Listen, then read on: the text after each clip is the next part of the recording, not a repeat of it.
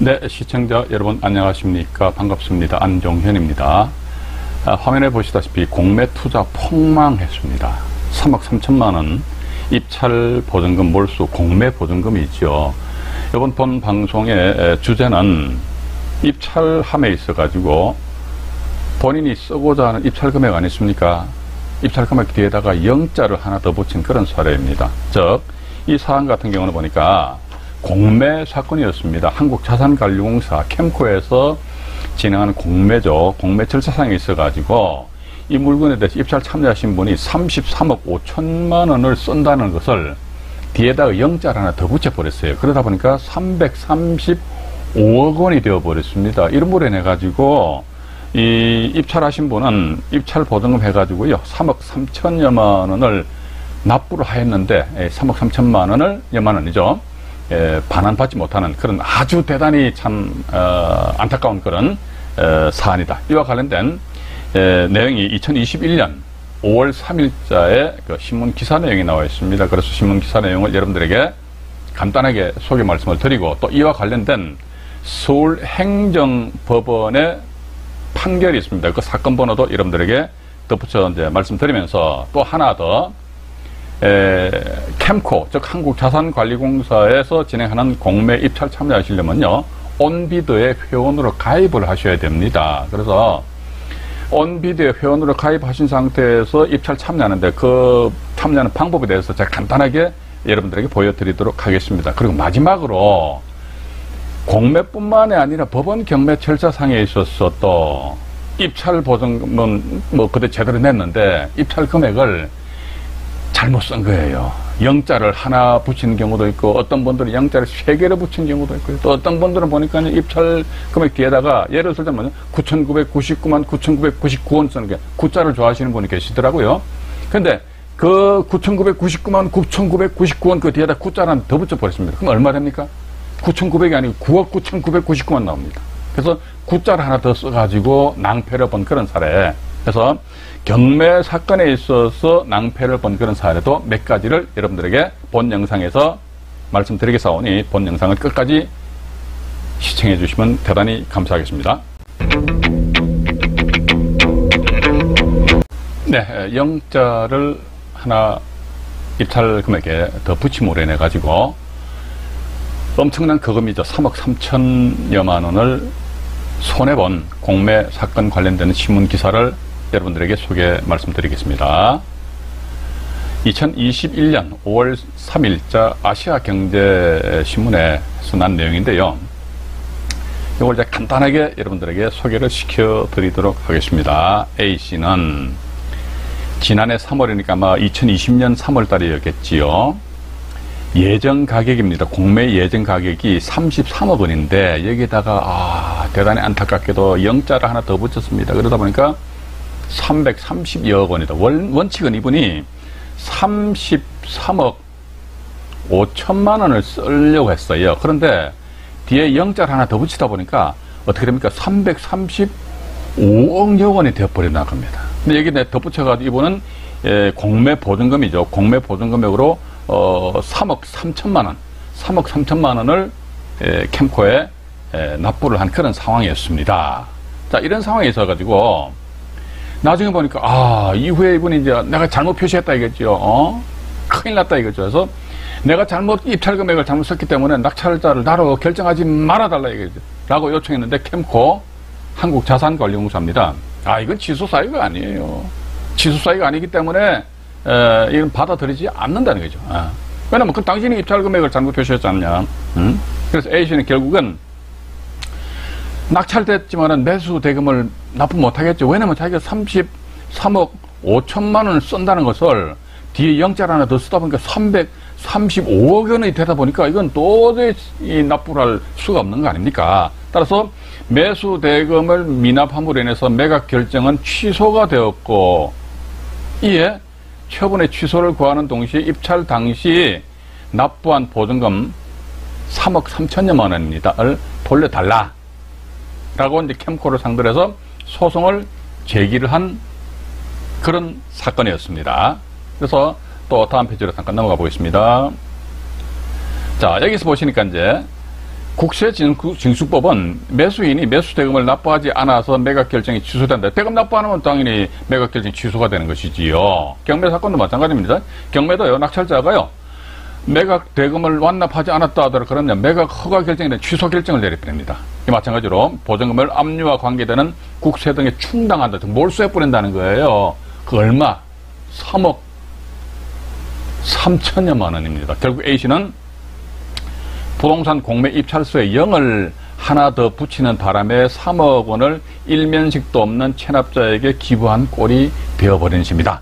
그래서 서울행정법원 2029합 72,645호 판결 내용에 의해서 이 기사가 아, 작성된 것 같습니다. 이 판결 내용에 대해서 궁금하신 분들은 아마 서울행정법원 사이트 들어가셔가지고요, 어, 뭐 검색해 보시면 이 그 판결문은 어, 여러분들이 예, 확인을 해 보실 수 있지 않겠느냐 하는 그런 생각 가지게 됩니다. 예, 본 사건에 있어서 어, 결론을 말씀드리겠습니다.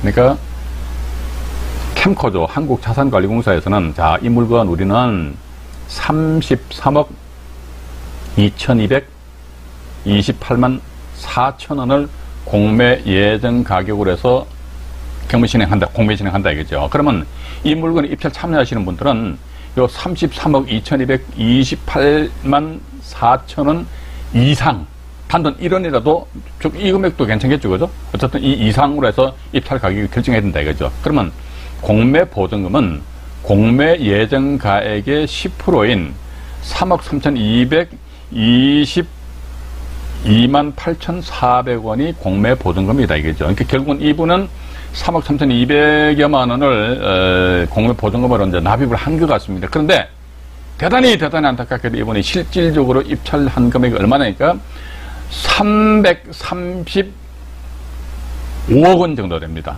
제가 어, 조금 전에 말씀드렸습니다. 이분이 뒤에는 원칙은 이게 뒤에 영자를 하나 쓰는 게 아니에요. 그러면 33억 5천만 원이 되잖아요. 그죠? 근데 어, 어쩌다 보니까 뒤에 영자를 하나 더 붙이다 보니까 335억 원 정도가 되어버렸다더라. 이렇게 나와 있습니다. 자, 그래서, 어, 연예가 말이죠. 제가, 아, 이제, 온비더입니다. 아, 온비더를 방문해가지고 사이트입니다. 그래서 입찰하는 방법에 대해서 간단하게 예, 여러분들한테 언급을 해드리도록 하겠습니다. 근데 저도 조금 의구심이 갑니다. 봐가지고요. 예, 공매 예정 가격이다 그러면요. 본인이 쏜 금액이 있습니다. 본인이 쏜 금액이 뭐 5%면 5%, 10%면 10%에 대해서 입찰 보는 금액이 온비드 그 사이트상에 표시가 된단 말이지요. 예를 들어 335억을 쏘다 그러면요. 입찰 보는 금액 이 금액 만약에 10%다 그러면 33억 5천만 원 을 납부를 해야 되는 거예요. 그게 이게 온비드 사이트상에 표시가 되는데 이걸 이제 표시되는 에, 그 내용을 여러분들에게 에, 그 소개를 시켜드리도록 하겠습니다.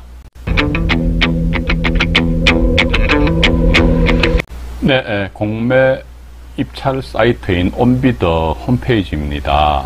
네, 공매 물건에 우리가 입찰 참여를 하시려면요. 먼저 어, 회원 가입을 하셔야 됩니다. 우, 어, 상단에 보시면요. 회원 가입란 있죠. 요거 회원 가입을 하셔야 돼요. 어, 저 같은 경우는 이미 이제 회원 가입을 했기 때문에 에, 로그인을 한번 해보겠습니다. 로그인 하면은 제 아이디가 나오고 비밀번호가 나오거든요. 비밀번호 제가 벌, 어, 입, 력을 했습니다. 비밀번호 제가 이야기할 뻔했네요. 음, 한번 로그인 되거든요. 자, 로그인 되면은, 물론 여기서 이제 전국적으로 물건이 다 있습니다만, 서울특별시 그 중에서도 광진구에 어떤 물건이 나와 있는지 궁금하다 이겠죠. 광진구 클릭해 봅니다. 광진구 보니까 여기에 우측에 보시게 되면은 에, 여기에 각 동이 나와 있죠. 광장동, 뭐 구이동 두 건, 군자동은 없고 자양동에 한 건, 중곡동 없고 없고 이렇게 나와 있습니다. 아, 근데 구이동에 두건 있네. 그럼 구이동 이걸 클릭을 해보자 이거죠. 구이동을 보시니까 구이동에 두 건이 나와 있다더라. 그러면 구이동을 클릭합니다. 클릭하게 되면요. 구이동에 나와 있는 물건이 이렇게 뜹니다. 이랬을 때 서울특별시 아 난 이 물건에 이렇게 관심이 있어 어떤 물건 하니까 서울특별시 광진구 구이동에 소재하는 이 부동산이 마음에 든다 이거지요. 아 그럼 내가 이 물건 입찰 참여를 해야 될 거 아닙니까, 그죠? 입찰 참여를 한다면 뭐 어떻게 하지? 이거 클릭을 하시죠, 뭐 클릭하시면 됩니다. 클릭하신 상태에서 보시면은 어, 여기 물건 4개 대 나와 있고요. 관심 물건 등록 난 옆에 에, 입찰이라는 버튼이 있습니다. 이렇듯이 입찰 버튼이 아니십니까? 입찰 버튼. 최저 입찰 가격, 예정 가격은 14억 9,308만 원 되어 있습니다. 이 금액 이상으로 써야 돼요. 입찰하실 적에는. 아, 그럼 난 입찰하겠다, 이겠지. 아, 그럼 입찰표, 입, 입, 입찰 버튼을 딱 누르시면 됩니다. 입찰 버튼을 누르시면요. 어, 이제 제 휴대폰이 옛날 전- 전화 보는데 010, 어, 622 하나입니다. 아, 나와 있고, 여기서 클릭 눌러버리고요. 수정사항 개인 이제 클릭 누르고, 그 다음에 위 내용, 공고 내용 확인 있고, 또 입찰 참가자 준수 규칙 동의, 요건 아마 여러분들 한번 읽어보시는 것이 좋지 않겠는가 하는 그런 생각 가져요.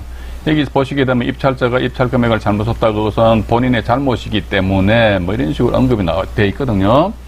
입찰 참여 방법도 나와 있고요. 그죠? 여기 보시면 입찰 참여 방법은 나와 있습니까? 입찰 참여 방법 나와 있죠? 입찰 참가 방법 나와 있고요. 그 상태에서 어, 또 보시면은 저 입찰자 자격 제한도 나와 있습니다. 그다음에 그 여러분들이 나중에 궁금하시면요. 어, 온비도 방문하셔가지고 회원 가입하십시오. 괜찮습니다. 네.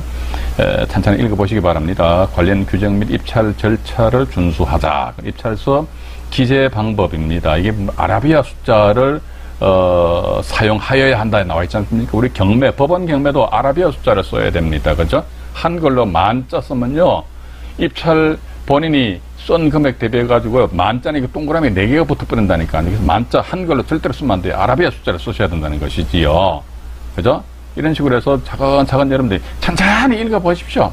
음, 돈이 왔다 갔다 하는 문제는 내가 이렇게 에, 덤펑덤펑 할 수 있겠습니까? 그럼 있을 수가 없는 것이다. 지금 그렇게 보고 있거든요. 그래서 일단 에, 입찰 참가자의 준수해야 할 내용에 대해 쭉 나와 있고요. 입찰서로 제출을 하고 나와 있습니다. 에, 입찰서를 제출을 하고 보면은 이- 여기에 또 차순위 매수 신고 뭐 여러 가지 나와 있기 때문에 아 여기에 또 동의한다고 버튼 다 누르셔야 동의한다 이거죠. 그 다음에 동의한다. 그 다음에 다음 단계 버튼을 누르십시오. 다음 단계 버튼을 누르시게 되면 이제 근본에 최저 입찰 금액이 얼마입니까? 14억 9,308만 원이죠? 그럼 나는 이 금액 이상으로 써야 돼요. 음. 자, 그러면 이 사건에 있어 가지고 토자이익입니다. 제가 이해가 안 가는 것이 이 물건에 있어서 아, 예를 들자면요. 내가 335억 원을 썼다 치자 이겠죠. 그럼 제가 입력해 보겠습니다. 335 하나 둘 셋 넷 하나 둘셋 그러면 뭐 1000% 이상이면은 이런 그 메시지가 뜹니다. 확인 눌러요. 그럼 335억 원 이렇게 표시 안 되어 있습니까? 그죠? 335 억 원 쓴다 이거지요. 본인이 아, 입찰표를 작성하는데 뒤에다가 영자를 하나 쓰는 바람에 이런 결과가 나타났다 이거예요. 그럼 좋습니다. 밑에 옆에 보시니까 보증금 계산란이 있죠. 요 보증금 계산 버튼이 있습니다. 요, 요거, 요거, 요거. 이걸 딸깍 한번 눌러보시라니까요. 버튼을. 눌러보시게 되면은 자, 밑에 보시니까 또 이렇게 나와 있죠? 보증 금액이 나와 있죠? 보증 금액이 얼마입니까? 33억 5천만 원 나와 있단 말이죠. 그럼 본인이 저요 사건 관련된 공매 사건에 있어가지고 본인이 34억 5천만 원 쓴다고 그랬는데 뒤에 영자를 하나 더 쓰므로 내가 335억이 됐다 이거죠. 이렇다 335억 원을 입찰표상에 기재하게 되면은 당연히 에, 보증금액에서 33억 5천만 원이 나오기 때문에 이거는 이런 경우가 발생될 수가 있을지 그렇게 의구심이 간다는 것입니다. 그죠? 일단 어, 이렇게 여러분들 보시면서 본 사건 같은 경우는 이제 최저 매각 금액이 14억 9천여만 원 정도 되니까 입찰 보증금률이 10% 돼, 돼 있지요. 어, 자, 그렇다면 여기서 제가 만약에 한, 한 15억 정도에 쏜다 치자 이거죠. 15억 정도에. 이걸 다시 15억 쓰는 것이죠, 뭐. 15억, 15억. 여기도 보십시오. 아주 친절하게 잘 표시되어 있잖아요. 금액을 내가 잘못 기재했다 손치더라도 우리 요즘도 한글 모르는 사람들은 없잖아요. 1, 15억 원 딱 표시 안 되어 있습니까? 표시되어 있잖아요. 표시되어 있단 말이죠. 아, 근데 15억, 아, 내 입찰 금액을 제대로 똑바로, 어, 작성했구나. 어? 근데 보증금 계산해가지고 입찰 보증금이 얼마야 보니까, 아, 15억 원. 내가 입찰한 금액의 10%에 해당되는, 여기 이제 입찰 보증금률이 10% 되어 있으니까, 1억 5천만 원을, 아, 납부를 하면 되겠구나. 이런 식으로 하다 보면요. 오히려 제가 보는 관점에 있어서는 경매 사건 같은 경우에 있어서는 입찰표 작성을 하는데 본인 수기를 작성하셔야 돼요. 그런데 공매 같은 경우는 인터넷으로 작성하기 때문에 일일이 우리가 천천히 보면은 이런 그 실수를 범할 수도 없을 것 같은데 왜 이런 결과가 나타났는지 대단히 참 궁금하다는 그런 생각을 가지게 됩니다. 이어서요. 우리 입찰표 경매입니다. 이제 경매 입찰표 작성하는 방법에 대해서 제가 지난 영, 다른 영상에서도 말씀드렸는데 이번에 또 간단하게 말씀드릴게요. 그리고 나아가서 법원 경매 사건에 있어 가지고 어, 뒤에 영자를 하나 더 붙임으로 인해서 낭패해본 사례 몇 가지를 여러분들에게 예, 소개 말씀드리도록 하겠습니다. 네, 법원 경매 사건에 있어서도 입찰 금액을 잘못 기재한 경우, 즉 본인이 쓰고자 하는 입찰 금액에 뒤에 영자를 하나를 더 붙인다든지 어떤 분들은 뭐 세 개를 더 붙이시는 분들도 계시고요. 하여튼 뭐 에, 각양각색입니다. 아. 근데 에, 조금 전에 우리 공매 사건에 있어가지고 온비더 사이트에서는 내가 입찰할 금액을 표시하게 되면 거기에 따라서 자동적으로 나의 입찰 보증 금액이 인터넷상에서 뜨잖아요. 그죠? 그래서 우리는 그거 보고 확인하면 되기 때문에 공매 사건에 있어서는 그렇게 큰 실수를 할 수가 없을 것 같은데 경매 사건에 있어서는 실수를 할 여지가 없잖아요. 있을 수 있다는 것입니다. 그래서 어, 기일 입찰표에 의해 가지고 간단하게나마 여러분들에게 입찰표 작성 요령에 대해서 말씀을 드려보도록 하겠습니다. 뭐 경매 몇 번 참여해 보신 분들은요. 아, 이런 영상들 참 시시하겠지요. 그런데 경매 입찰 법정을 한 번도 안 가보신 분들은 뭐 상당히 많이 계시는 걸로 알고 있습니다. 그래서 일단 천천히 한번 들어보시기 바라겠습니다. 기일 입찰표 나와 있네요. 기일 입찰표 해가지고. 자, 이 보시니까, 뭐, 기, 어, 입찰표는 기일 입찰표인데, 기간 입찰표도 있습니다. 네. 어, 요즘 통상적 기, 기일에 의해서 경매가 진행되니까, 사건 번호다가 만약에 2021 타경이다. 2021 타경 1, 2, 3, 4, 5호. 물건 번호 있으면 쓰고 없으면 안 쓰면 됩니다. 본인이 입찰한다 그러면요. 홍길동하고요. 도장 찍고 본인이 휴대폰 번호 적으면 돼요. 사, 저 주민등록 번호 적고 주소 적으면 된단 말이죠. 그죠? 중요한 건 뭐냐? 그러니까 중요한 것은 예, 밑으로 잠깐 내려와 보니까 말이죠. 이겁니다. 이거 중요한 거는요. 경매 사건에 있어서 어 내가 1억을 쓰려고 그랬는데 입찰 금액을 말이죠. 어쩌다 보니까 뒤에 영자를 하나 더 붙여버린다. 어, 환장해버린다 말이죠. 그죠? 10억이 돼버린다고. 그러니까 그런 경우가 발생되지 않기 위해서는 어떻게 한다는 게 입찰표를 보시게 되면요. 어, 이 반으로 뚝 자릅니다. 잘라가지고요. 좌측이죠. 좌측에는 저, 이, 내가 이탈하고자 하는 이탈 가격을 표시하는 거예요. 우측은 뭡니까? 우측은 보증금액. 아, 보증금액을 표시한다는 거. 입찰 보증금액이에요. 그러니까 신경매 같은 사건 같은 경우는 내가 입찰하는 금액의 예, 예, 10%가 아니고 그 날짜 최저 매각 금액의 10%란 말이죠. 그죠? 자, 그런데 보니까 내가 나는 이 물건에 어, 오늘 보니까 최저 매각 금액이 얼마더라? 야, 7억 법원에서 제시한 금액이 7억 원입니다. 그러면요, 입찰 보증 금액은요, 7억 원에 10%예요. 신경매니까. 그럼 얼마? 7천만 원이죠? 7천만 원이 헛갈리는 거야 봐가지고 또 경매법정 말이지 생전 처음 가보니까 정신이 없어요. 이러다 보니까 얼른 하다 보니까 실수하는 경우가 있다 이거지. 그런데 실수하는 방법 딱 있어요. 뭐냐면 7천만 원이죠. 7천만 원. 7억의 10%는 7천만 원이잖아요. 7천만 원. 그럼 위에 보니까 1, 10, 100, 천, 만, 10만, 100만, 천만 원 나와 있지 않습니까? 이거 7천만 원인데 요 앞에 앞에 수치가 뭡니까? 어기 좀 여기다 돈표 쏘면 됩니다. 그 다음에 그냥 눈꽉 감고 그냥 7천 한번 쓰면 돼요. 7천만 원이잖아요. 그죠? 자, 그런데 내가 입찰 보증 금액은 법원에서 제시한 최저 매각 금액이 10%인 10%인데 입찰 금액은 뭐다? 법원에서 제시한 금액 이상으로 써야 됩니다. 근데 7억을 쓸 수도 있어요. 아니면 7억 5천만 원 쓸 수도 있다. 아, 이 물건 보니까 내가 임장을 하고 권리 분석해 보니까 야, 최소한 7억 5천만 원을 써야 될 것 같아. 야, 7억 5천인데 7억이죠. 그럼 그 다음, 그 다음 그, 어, 수치가 뭡니까? 10억이죠. 그죠? 10억 미터다. 이거 돈표 써야 돈표가 간단해요. 그 다음 어떻게 한다? 7억 5천, 땡, 땡, 땡, 땡, 땡, 땡 하면 끝나버리잖아요. 그죠? 이런 경우는, 아, 뒤에 뭐 입찰 금액에다가, 어, 동그라미 하나 이더 붙이고 자식할 게 있다, 없다? 없어요. 제가 조금 전에도 말씀드렸습니다만은 이게 입찰표는요 공매든 경매든 아라비아 숫자입니다. 아라비아 아라비아 숫자를 쓰셔야 되는 것이지 괜히 말이지 예? 만자 이런 경우도 있었습니다 실제 예. 입찰 금액 뒤에다 만자를 하나 더 붙인다든지 이렇게 하면 만자 같으면 이게 법원에서 동그라미 네 개를 더 붙인 걸로 취급해 버린단 말이죠. 이렇게 하게 되면 대단히 대단히 낭패를 볼 수 있지 않느냐 하는 그런 생각을 가진다는 것입니다. 자, 그럼 밑으로 잠깐 내려가 보면요. 이것도 보면 주의사항 나와 있잖아요. 이거 한번 읽어보시는데 그 중에서 5번 같은 경우 보니까 좀 중요한 내- 모양입니다. 그러니까 입찰 가격은 수정할 수 없으므로 입찰 가격입니다. 내가 써는 입찰 가격이잖아요. 예를 들어가 내가 7억 5천만 원 쓴다 지금 앞에 10억 단위다가 돈표하고 7억 7억 5천만 원 써요. 어. 7억 5천만 원 딱 썼는데 어유 이 날짜 경매 법정 가보니까 웬 사람들이 그렇게 많아 야 이게 안 되겠어 어 8억 써야겠는데 어 그래 이제 여기다 내가 선을 쭉 꺾고 입찰자 홍길동이니까 본인 도장 찍었잖아요 그죠 내 도장을 딱딱 찍고 여기다가 내 8억 써야지 절대로 그거 안 됩니다 예. 이게 입찰 가격은 수정할 수 없으므로 수정을 요할 때는 새 용지를 사용하십시오 쓰시다가 잘못 쓰셨다고 하면 확 찢어버려요. 가뜩이나 낙찰도 못 받아가 좀 약 오르잖아요. 그죠? 확 찢어버리고 경매 법정에 앞에 보면 그 입찰표 나눠주는 저 젊은 사람들 있어요. 가가 한 장 달라고 그래요. 그죠? 예. 즉, 뭐다 이거? 세술은 뭐? 세부대에 담으셔야 된다는 거. 그런 말씀을 어, 드려보고 싶습니다.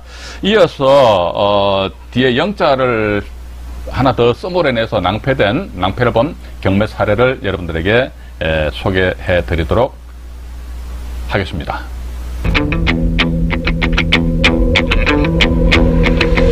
네, 경매 사건에 있어서 입찰 금액을 잘못 표시함으로 인해 가지고 어, 낭패를 본 그런 경우가 있고 어떤 경우는 보면 뭐 운 좋게 빠져나온 그런 경우도 없지 않아 있습니다. 자, 본 사건은 보시니까요. 어정부 지방법원 경매 사건입니다. 보시면요. 에, 가평군 청평면에 소재한 아파트인데요. 아파트인데 이 부분은 제가 화면에 좀 확대를 해서 여러분들에게 잠깐 보여드리도록 하겠습니다. 확대를 해서 보여드리도록 하겠습니다. 자, 보니까 여기에 보시게 되면은 2차 매각길란 말이지요. 최저 매각 금액이 1억 7,850만 원인데 이 법인에서 입찰 하셨어요. 그런데 이 날짜에 6명이 응찰하셨잖아요. 그죠? 낙찰 금액이 얼마입니까? 21억 6,660만 원입니다. 850%. 즉 2억 5,500만 원이 1차 최저 매각 금액인데 이 금액의 850%를 입찰 금액을 표시하신 거예요. 그러니까 아마도 보니까 본인들은 2억 1,666만 원을 쓴다는 것을 뒤에 에, 왼수 덩어리죠. 영자 하나를 더 붙인 거야. 그런데 이게 운 좋게 매각 불허가 결정이 났습니다. 제가 알기로는요. 입찰자 본인이 실수로 입찰 금액을 잘못 표시했단 말이죠. 뒤에 영자를 하나 더 붙였단 말이지요. 이것은 매각 불허가 사유에 해당이 안 됩니다. 이거 대법원의 판단이란 말이지요. 자, 이런 상황에서 보니까 밑에 화면에 보시게 되면은, 에, 여기 보시게 되면은 6월 22일 날이죠. 6월 22일 날. 6월 22일 날에가 2020년 6월 22일입니다. 이분들은 6월 16일 날 낙찰 받고 6월 23일 일주일 후에 이제 매각 허부 기일인데 6월 20일 그 전날 말이죠. 최고가 매수 신고인 뭐죠? 매각 불허가 신청서 제출입니다. 크, 매각 불허가 신청서 제출해. 그러니까 제가 보는 관점에서는 이게 매각 불허가 사유는 뭐지? 그러니까 본인이 입찰표상에 영자를 하나 더 붙였다는 그거 말고 다른 건 없다. 저는 그렇게 보고 있습니다. 따라서 이런 경우는 이제 매각 불허가 사유에 해당되지 않는데도 불구하고 매각 불허가 어, 결정이 난 것은 조금 문제가 없지 않아 있지 않겠느냐 하는 그런 생각을 좀 가진다는 것입니다. 자, 다음 사례를 또 보여드리도록 하겠습니다. 이제 본건 같은 경우는 서울 남부지방법원 경매 사건이었습니다. 이것도 역시 확대해 보겠습니다. 예, 보시니까, 아, 이 물건도 역시 마찬가지, 이, 2차 매각기일 날 2억 7,600여만 원이 최저 매각 금액입니다만, 이 날짜 보니까 21명이, 어우, 엉찰하셨어요. 그죠? 그래가지고 한 분이 28억 9,800여만 원, 28억 9,800여만 원을 쓰셨습니다. 물건기에 840%입니다. 840% 쓰시고 나서 그 다음에 어 보니까 일주일 후에 매각 불허가 결정이 나버렸어요. 야, 이 매각 불허가 보니까 아마도 이것도 조금 전에 제가 말씀드린 것처럼 제가요 입찰 금액에 뒤에 영자를 하나 더 붙였걸랑요. 따라서 매각 불허가 막 이런 식으로 이제 어, 인정에 호소를 하였지 않겠느냐 하는 그런 생각을 가진다는 것입니다. 이 사건 관련해 가지고요. 문건 접수 내역을 잠깐 보시지요. 보시니까 4월 4일 날이죠. 4월 4일 날 이 물건 낙찰 이분이 입찰하셨어요. 4월 4일 날이죠. 같은 날짜예요. 최고가 매수 신고는 뭡니까? 매수 신고에서 매각 에, 불허가 매각 불허가 아, 신청서를 제출했습니다. 매각 불허가 신청서를 뭐죠? 제출했죠. 그러니까 4월 4일 날 오전에 낙찰 받고 4월 4일 날 보니까 아이고 왜 큰일 난 거니 4월 4일 날 오후에 그냥 뭐 우당땅땅 해가지고 매각 불허가 신청서를 제출하니까 4월 11일 날 해가지고 법원에서는 이 매각 어 불허가 결정을 내려주었지 않느냐 하는 그런 생각을 가지게 된다는 것입니다. 자 그럼 또 다른 사례 하나 보여드리겠습니다. 이런 사례가 참 많아요. 좀 많이 가지고 있습니다. 예. 제가 아마 수십, 수십 건 가지고 있어요. 그런데 이걸 다 일일이 여러분들한테 소개시켜 드린다는 건 좀 시간 낭비지 않겠느냐. 우리 왜냐? 정신을 똑바로 차리면 되는데 왜 굳이 이런 현상들이 나타나는지 전 도대체 이해를 할 수가 없다는 것입니다. 본 사건 보니까 서울 동부지방법원 경매 사건이었습니다. 근데 이건 참 기도 안 차는 내용이지요. 여러분들 보십시오. 보시게 되면은 1차 최저 매각 금액이 27억 8,800여만 원이었죠. 그래서 쭉 이제 유찰되다가 그번 6차 매각 기일 날에서 9억 천여만 원이 최저 매각 금액인데 보니까 이 날짜에 우와 얼마입니까? 92억 5,179만 3천만 해서 뒤에 영자를 하나 더 쓰신 거예요. 이러다 보니까 아 근데 이 물건 같은 이도 허가 결정 나버렸네요. 야 그럼 이게 허가 결정 났다면 여러분들 대금 납부하시겠습니까? 대금 납부 못하죠. 못하니까 다시 제자 죄경매 나온다 이거죠. 그럼 이 날짜에 최모 씨분은 얼마를 손해봤냐 이게 공매 사건에 있어서 본 영상에 있어서 공매 사건에 있어서 3억 3천만 원보다는 약하죠. 9억 1,300여만 원의 10%인 한 9,100여만 원 정도 네, 입찰 보증금 몰수당했습니다. 그런데 밑으로 내려보니까 말이죠. 이게 또 보시니까 이분이 10월 21일 날 입찰하셨잖아요. 10월 22일 날에요. 완전 헐레벌떡이 헐레벌떡. 여기 보니까 최고가 매수 신고에 나와 있습니다. 최고가 매수 신고인이 어떤 액션을 취했는지 잠깐 보자 입니다. 아, 보니까 아 불허가 신청서를 제출하셨죠, 그죠? 매각 불허가 신청서를 제출했습니다. 그럼에도 불구하고 허가 결정이 났다는 겁니다. 그래서 저는 그렇게 봅니다. 조금 전에 입찰자 본인이 잘못 입찰 금액을 잘못 썼으므로 썼다. 그럼에도 불구하고 매각 불허가 결정을 내려준 법원이 어정부 지방법원하고요. 서울 남부 지방법원입니다. 근데 본건 같은 경우는 서울 동부 지방법원이에요. 자, 그럼 제가 또 조금 이따 어, 다른 사례를 하나 더 여러분들에게 소개를 해드리도록 하겠습니다.